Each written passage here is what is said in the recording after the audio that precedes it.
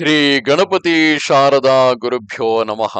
ವಸುದೇವ ಸುತಂ ದೇವಂ ಕಂಸಚಾಣೂರಮರ್ದನಂ ದೇವಕಿ ಪರಮಾನಂದಂ ಕೃಷ್ಣಂ ವಂದೇ ಜಗದ್ಗುರುಂ. ಶ್ರೋತೃಗಳಿಗೆ ಶ್ರೀ ಅಳಸಿಂಗರಾಚಾರ್ಯ ವಿರಚಿತ ವ್ಯಾಸ ಮಹರ್ಷಿ ಪ್ರಣೀತ ಶ್ರೀಮದ್ ಭಾಗವತದ ತೃತೀಯ ಸ್ಕಂದದಲ್ಲಿ ಹಿರಣ್ಯಾಕ್ಷನು ವರುಣನ ಮಾತಿನ ಮೇಲೆ ಶ್ರೀ ಮಹಾವಿಷ್ಣುವನ್ನು ಹುಡುಕುತ್ತಾ ಹೊರಟುದು. ಹಿರ ವರಾಹ ಹಿರಣ್ಯಾಕ್ಷ ಯುದ್ಧವು ಎಂಬ ಹದಿನೆಂಟನೆಯ ಅಧ್ಯಾಯಕ್ಕೆ ಸ್ವಾಗತ. ಮೈತ್ರೇಯರು ಹೇಳುತ್ತಿರುವರು, ವಿದುರ, ಕೇಳು. ವರುಣನು ಹೇಳಿದ ಈ ಮಾತನ್ನು ಕೇಳಿ ಹಿರಣ್ಯಾಕ್ಷನು ಬಹಳ ಉತ್ಸಾಹಗೊಂಡನು. ವರುಣನು ವಿಷ್ಣುವಿನಿಂದ ತನಗೆ ಸಾವು ನಿಶ್ಚಯವೆಂಬ ಮಾತನ್ನು ಸೂಚಿಸಿದ್ದರು. ಅದನ್ನು ಲಕ್ಷ್ಯ ಮಾಡದೆ ಮದೋದ್ರಿಕ್ತನಾಗಿ ವೈಕುಂಠದ ಕಡೆಗೆ ಹೊರಟನು. ಇಷ್ಟರಲ್ಲಿ ನಾರದನು ದಾರಿಯಲ್ಲಿ ಅವನನ್ನು ಸಂಧಿಸಿ ವಿಷ್ಣುವು ವೈಕುಂಠದಿಂದ ರಸಾತಲಕ್ಕೆ ಹೋಗಿರುವುದಾಗಿ ಸೂಚಿಸಲು ಒಡನೆಯೇ ಅತಿ ವೇಗದಿಂದ ಪಾತಾಳದ ಕಡೆಗೆ ತಿರುಗಿ ರಸಾತಲವನ್ನು ಪ್ರವೇಶಿಸಿದನು. ಅಲ್ಲಿ ಪರ್ವತದಂತೆ ಮಹೋನ್ನತನಾಗಿ ತನ್ನ ದಂಷ್ಟ್ರಾಗ್ರದಿಂದ ಭೂಮಿಯನ್ನು ಮೀಟಿ ಮೇಲಕ್ಕೆತ್ತುತ್ತಾ ತನ್ನ ಕೆಂಪಾದ ಕಣ್ಣುಗಳ ಕಾಂತಿಯಿಂದಲೇ ಶತ್ರು ತೇಜಸ್ಸನ್ನು ತಗ್ಗಿಸುವಂತೆ ನಿಂತಿರುವ ವರಾಹರೂಪಿಯಾದ ಹರಿಯನ್ನು ಕಂಡು ಅಟ್ಟಹಾಸದಿಂದ ನಗುತ್ತಾ ಓಹೋ, ಇದೇನಿದು? ಕಾಡಿನಲ್ಲಿರಬೇಕಾದ ಹಂದಿಯು ಇಲ್ಲಿಗೆ ಬಂದುದು ಹೇಗೆ?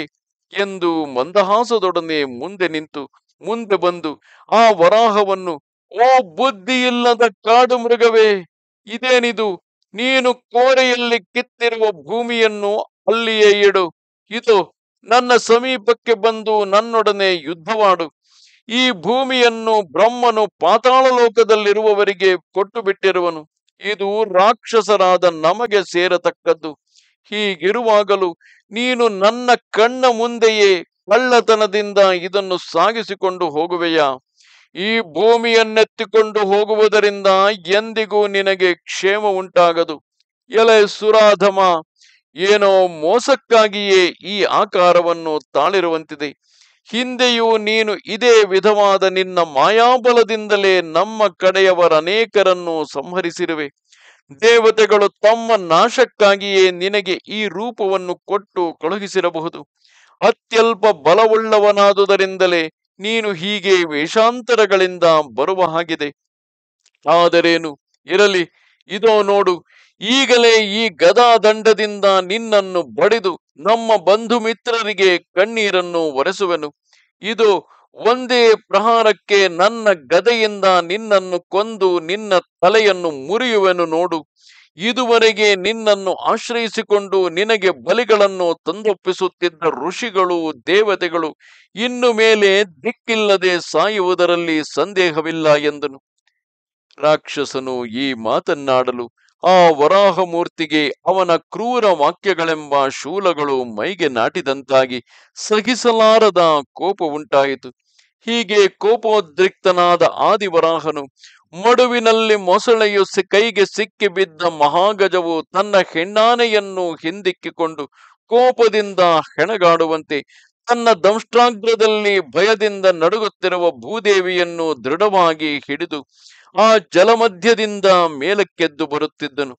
ಹೀಗೆ ವೇಗದಿಂದ ಮೇಲಕ್ಕೆದ್ದು ಬರುತ್ತಿರುವ ಆ ವರಾಹ ಮೂರ್ತಿಯನ್ನು ಹಿರಣ್ಯಾಕ್ಷನು ಕೂಡ ಮದದಾನೆಯನ್ನು ಬೆನ್ನಟ್ಟಿ ಬರುವ ಮೊಸಳೆಯಂತೆ ಭಯಂಕರವಾದ ಕೋರೆ ದಾಡಗಳೊಡನೆ ಬೆನ್ನಟ್ಟಿ ಸಿಡಿಲಿನಂತೆ ಆರ್ಭಟಿಸಿ ಎಲೆ ದುರಾತ್ಮ, ನಾಚಿಕೆಯಿಲ್ಲದೆ ಭಯಪಟ್ಟು ಪಲಾಯನ ಮಾಡುವೆಯಾ?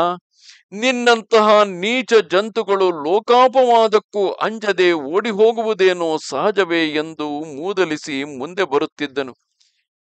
ಈ ರಾಕ್ಷಸನ ಮಾತನ್ನು ಕೇಳಿ ವರಾಹಮೂರ್ತಿಗೂ ಮೇಲೆ ಮೇಲೆ ಕೋಪವು ಉಕ್ಕಿ ಬರುತ್ತಿತ್ತು. ತನ್ನ ದಂಷ್ಟ್ರಾಗ್ರದಲ್ಲಿ ಧರಿಸಿದ್ದ ಭೂಮಿಯನ್ನು ಆ ಮಹಾಸಮುದ್ರದ ಮೇಲೆಯೇ ತನ್ನ ಆಧಾರ ಶಕ್ತಿಯಿಂದ ನಿಲ್ಲಿಸಿಬಿಟ್ಟನು.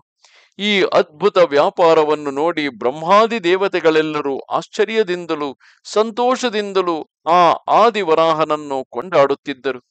ಹಿರಣ್ಯಾಕ್ಷನು ನೋಡುತ್ತಿದ್ದ ಹಾಗೆಯೇ ಆಕಾಶದಿಂದ ಪುಷ್ಪ ವರ್ಷವನ್ನು ಕರೆದರು. ಹೀಗೆ ದೇವತೆಗಳೆಲ್ಲರೂ ನಾನಾ ದಿಕ್ಕುಗಳಿಂದ ಸ್ತೋತ್ರ ಮಾಡುತ್ತಿರಲು, ಭಗವಂತನು ಮರ್ಮ ಭೇದಕಗಳಾದ ಮಾತಿನಿಂದ ತನ್ನನ್ನು ಬೆನ್ನಟ್ಟಿ ಬರುತ್ತಿದ್ದ ಗದಾಪಾಣಿಯಾದ ಹಿರಣ್ಯಾಕ್ಷನನ್ನು ನೋಡಿ ಮಂದಹಾಸದಿಂದ ನಗುತ್ತಾ, ಎಲೆ ರಾಕ್ಷಸ, ನೀನು ನನ್ನನ್ನು ನೋಡಿ ಕಾಡು ಮೃಗವೆಂದು ಹಾಸ್ಯ ಮಾಡಿದೆಯಲ್ಲವೇ? ಹೌದು, ನಾವು ಕಾಡು ಮೃಗಗಳೆಂಬುದೇನೋ ವಾಸ್ತವವು. ನಿಮ್ಮಂತಹ ನಾಯಿಗಳನ್ನು ಹುಡುಕಿ ಕೊಲ್ಲುವುದಕ್ಕಾಗಿಯೇ ನಾನು ಈ ಮೃಗರೂಪವನ್ನು ಧರಿಸಿರುವೆವು. ಎಲೆ ದುರಾತ್ಮ, ಕೆಲಸಕ್ಕೆ ಬಾರದ ಈ ಕೂಗಾಟಗಳಿಂದ ಫಲವಿಲ್ಲ. ನಿಜವಾದ ವೀರ್ಯವುಳ್ಳವರು ಯಾವಾಗಲೂ ಇಂತಹ ಗರ್ವೋಕ್ತಿಗಳನ್ನು ಬಾಯಿಂದ ನುಡಿಯಲಾರರು.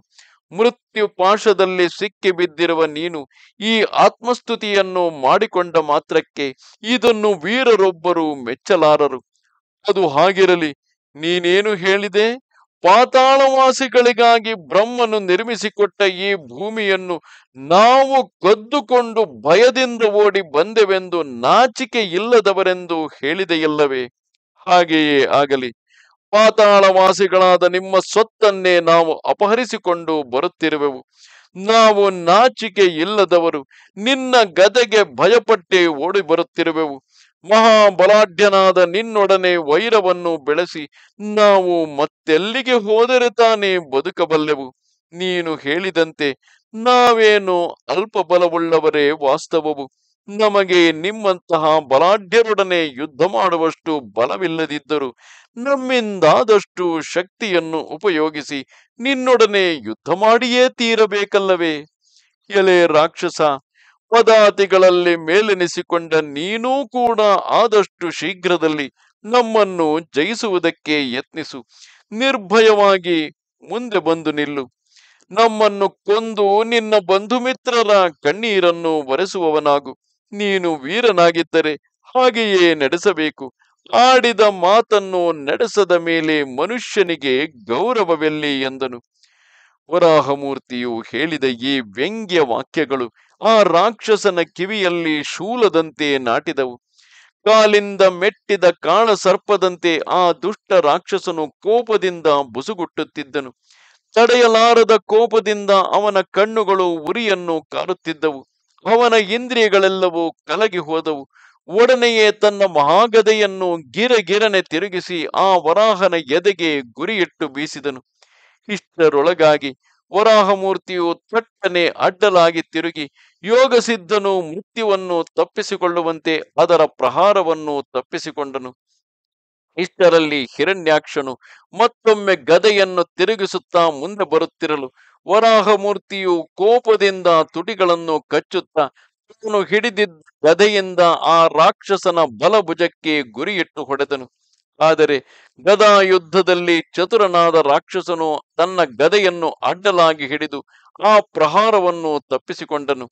ಅವರಿಬ್ಬರು ಒಬ್ಬರನ್ನೊಬ್ಬರು ಕ್ರೂರವಾಗಿ ಒಬ್ಬರಿಗೊಬ್ಬರು ಕ್ರೂರವಾಗಿ ಹೊಡೆದಾಡುತ್ತಿದ್ದರು. ಹೀಗೆ ಒಬ್ಬರ ಮೇಲೊಬ್ಬರು ಸ್ಪರ್ಧೆಯಿಂದ ಹೋರಾಡುತ್ತಾ ಗದೆಯಿಂದ ಅಪ್ಪಳಿಸುವಾಗ ಮೈಗಾಯದಿಂದ ಹೊರಟ ರಕ್ತದ ವಾಸನೆಯು ಮೂಗಿಗೆ ಏರಿದ ಹಾಗೆಲ್ಲ ಇಬ್ಬರಿಗೂ ಮೇಲೆ ಮೇಲೆ ಕೋಪವು ಹೆಚ್ಚಿ ಬರುತ್ತಿತ್ತು. ಒಬ್ಬರನ್ನೊಬ್ಬರು ಜಯಿಸಬೇಕೆಂಬ ಹಠದಿಂದ ಆ ವರಾಹ ರಾಕ್ಷಸರಿಬ್ಬರು ವಿಚಿತ್ರ ಗತಿಗಳಿಂದ ತಿರುಗಿ ತಿರುಗಿ ಎರಡು ಮಹಾವೃಷಭಗಳಂತೆ ಯುದ್ಧ ಮಾಡುತ್ತಾ ಬಂದರು.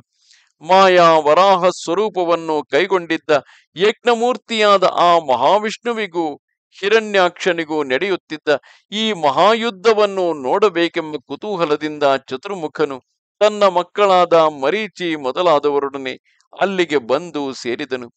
ಆ ಹಿರಣ್ಯಾಕ್ಷನ ಪರಾಕ್ರಮವಾದರೂ ಸ್ವಲ್ಪ ಮಾತ್ರವೂ ತಗ್ಗದೆ ಮೇಲೆ ಮೇಲೆ ಹೆಚ್ಚುತ್ತಿತ್ತು. ಭಗವಂತನು ಪ್ರಯೋಗಿಸಿದ ಒಂದೊಂದು ಗದಾ ಪ್ರಹಾರವು ಅವನ ಮೇಲೆ ಬೀಳದೆ ತಪ್ಪಿ ಹೋಗುತ್ತಿದ್ದಿತು ಆ ರಾಕ್ಷಸನು ನಿರ್ಭಯವಾಗಿ ಮೇಲೆ ಬಿದ್ದು ಹೆಮ್ಮೆಯಿಂದುಕ್ಕುತ್ತಿದ್ದನು ಅವನ ಪರಾಕ್ರಮವು ತಡೆಯಲ್ಲ ಸಾಧ್ಯವಾಯಿತು. ಈ ಸ್ಥಿತಿಯನ್ನು ನೋಡಿ ದೇವಾಧಿಪತಿಯಾದ ಬ್ರಹ್ಮನು ಆದಿವನಾಹರೂಪಿಯಾದ ಭಗವಂತನನ್ನು ಹೀಗೆಂದು ಪ್ರಾರ್ಥಿಸತೊಡಗಿದನು. ಓ ದೇವ, ಈ ರಾಕ್ಷಸನಾದರೂ ಬಹಳ ದುರಾತ್ಮನು. ನಿನ್ನನ್ನೇ ನಂಬಿ ಬದುಕುತ್ತಿರುವ ಬ್ರಾಹ್ಮಣರನ್ನು, ದೇವತೆಗಳನ್ನು, ನಿರಪರಾಧಿಗಳಾದ ಇತರ ಭೂತಗಳನ್ನು ಕರುಣೆ ಇಲ್ಲದೆ ಕೊಲ್ಲುತ್ತಿರುವನು, ಲೋಕವೆಲ್ಲವನ್ನು ಹೆದರಿಸುತ್ತಿರುವನು. ನಾನು ಕೊಟ್ಟ ವರಬಲದಿಂದಲೇ ಬಹಳವಾಗಿ ಕೊಬ್ಬಿ ಲೋಕವನ್ನು ಹಿಂಸಿಸುತ್ತಿರುವನು. ನನಗೆ ಬೇರೆ ಯಾರು ಇದಿರಿಲ್ಲವೆಂಬ ಮೈಕೊಬ್ಬಿನಿಂದ ಸಿಕ್ಕಿದವರನ್ನೆಲ್ಲ ಯುದ್ಧಕ್ಕೆ ಕರೆಯುತ್ತಾ ಲೋಕವನ್ನು ಸುತ್ತುತ್ತಿರುವನು. ಲೋಕ ಕಂಟಕನಾದ ಈತನು ಬಹಳ ಮಾಯಾವಿಯಾಗಿ ತನ್ನ ವೀರ್ಯಕ್ಕೆ ಎಲ್ಲಿಯೂ ತಡೆಯಿಲ್ಲವೆಂದು ಬೀಗಿ ಬೆರೆಯು, ಮೆರೆಯುತ್ತಿರುವನು. ಅತಿ ಕ್ರೂರಾತ್ಮನಾದ ಇವನೊಡನೆ ಯುದ್ಧ ಮಾಡುವಾಗಲೂ ನೀನು ಇಷ್ಟು ಅಲಕ್ಷ್ಯ ಭಾವದಿಂದ ಮಕ್ಕಳಾಟಿಕೆಯನ್ನು ಆಡುತ್ತಿರುವೆಯಲ್ಲ, ಈ ದುರಾತ್ಮನೊಡನೆ ಹೀಗೆ ಆಟವಾಡುತ್ತಿರುವುದು ಹಾವಿನೊಡನೆ ಸರಸ ಮಾಡುವಂತೆಯೇ ಹೊರತು ಬೇರೆಯಲ್ಲ. ಇನ್ನು ನೀನು ತಡ ಮಾಡುತ್ತಿರುವುದು ಸರಿಯಲ್ಲ. ಇದು ಈಗಾಗಲೇ ಸಂಧ್ಯಾಕಾಲವು ಸಮೀಪಿಸುತ್ತಿರುವುದು. ಈ ಕಾಲದಲ್ಲಿ ರಾಕ್ಷಸರಿಗೆ ಬಲವು ಹೆಚ್ಚು. ಆದುದರಿಂದ ನೀನು ಇವನೊಡನೆ ಈ ಮಕ್ಕಳಾಟಿಕೆಯನ್ನು ಬಿಟ್ಟು ನಿನ್ನ ಮಾಯಾ ಬಲವನ್ನು ಹಿಡಿದು ಸಾಯಂಕಾಲಕ್ಕೆ ಮೊದಲೇ ಇವನನ್ನು ಕೊಂದು ಬಿಡಬೇಕು. ಅದರಿಂದಾಚೆಗೆ ಇವನನ್ನು ಕೊಲ್ಲುವುದು ದುಸ್ಸಾಧ್ಯವಾಗುವುದು. ಸಂಧ್ಯಾಕಾಲವೆಂಬುದು ಲೋಕಕ್ಕೆ ಬಹಳ ಭಯಂಕರವಾದುದು. ಆದುದರಿಂದ, ಎಲೈ ಸರ್ವಾತ್ಮಕನೇ ಇದಕ್ಕೆ ಮೊದಲೇ ಇವನನ್ನು ಸಂಹರಿಸಿ ದೇವತೆಗಳಿಗೆ ಕ್ಷೇಮವನ್ನುಂಟು ಮಾಡು.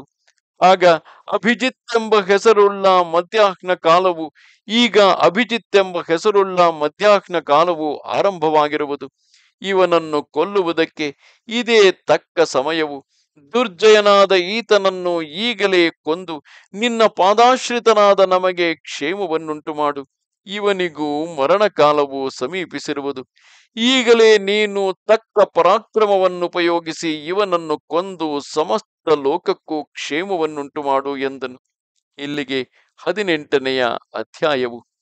ನಮಸ್ತೆ ಶಾರದೆ ದೇವಿ, ಕಾಶ್ಮೀರ ಪುರವಾಸಿನಿ, ತ್ವಾಮಹಂ ಪ್ರಾರ್ಥೆಯೇ ನಿತ್ಯಂ, ವಿದ್ಯಾದಾನಂಚ ದೇಹಿಮೆ. ನಮಸ್ಕಾರ.